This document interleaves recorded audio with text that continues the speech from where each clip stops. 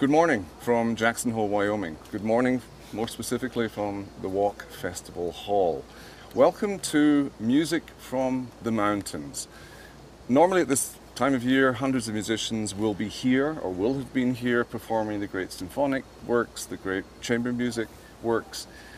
For obvious reasons, we do not have hundreds of musicians here. We are nevertheless bringing together a small number of musicians to perform for you. We're also joined by two remarkable soloists, uh, Yefim Bronfman, the pianist, and Jacquelyn Stucker, the soprano. We have been here all week uh, performing, and we call it Music from the Mountains. Music here, of course, but the incredible mountain range, the Grand Teton, is our backdrop.